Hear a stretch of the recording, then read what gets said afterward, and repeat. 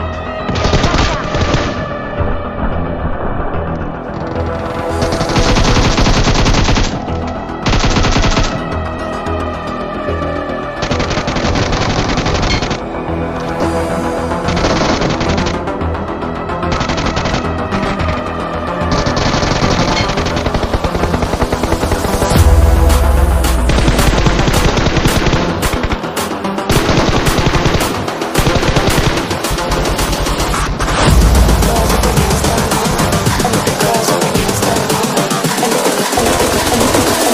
Like the girls with their nails done now.